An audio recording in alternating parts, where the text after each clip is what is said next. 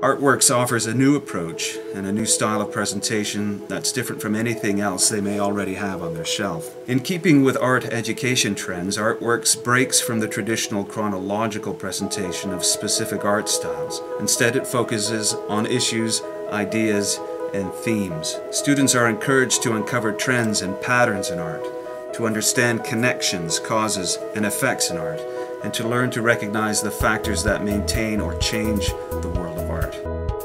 In terms of presentation, it became clear very early on that this project would not lend itself well to a traditional textbook format. Art programs are not lecture or reading-based programs.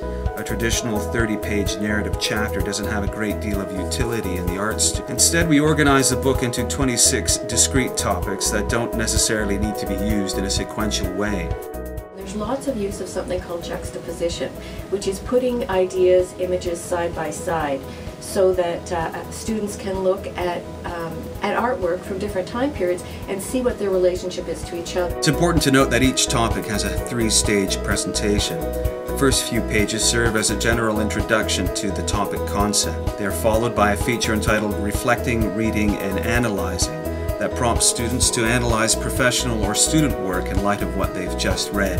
The topic then ends with something called Creating and Presenting that walks students through a project that applies the topic concept. Uh, there's a couple of chapters, topics in the textbook that are particularly engaging both for teachers and students.